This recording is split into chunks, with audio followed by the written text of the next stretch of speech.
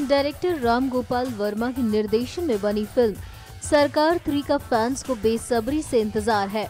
वहीं social media पर अमिताभ के लुक भी आए दिन सामने आ रहे हैं, लेकिन लगता है कि अमिताभ की फ़िल्म पर किसी की नज़र लग गई है।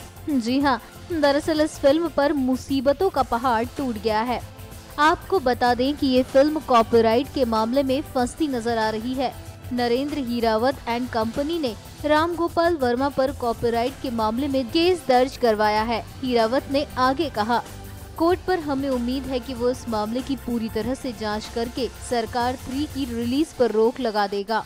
वहीं फ़िल्म के प्रोड्यूसर ने अपना पक्ष रखते हुए कहा है कि नरेंद्र हीरावत एंड कंपनी के पास सिर्फ़ सरकार के कॉपीराइट्स हैं, जबकि ये फ़िल्म सरकार का तीसरा पार्ट, सरकार थ्री है।